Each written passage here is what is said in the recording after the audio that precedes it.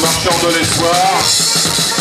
Ils sont partis samedi de Varennes sur scène à côté de Montreux, derrière Montreux par rapport à nous. 90 km de marche, pas moins, pas plus. Donc euh, merci à eux euh,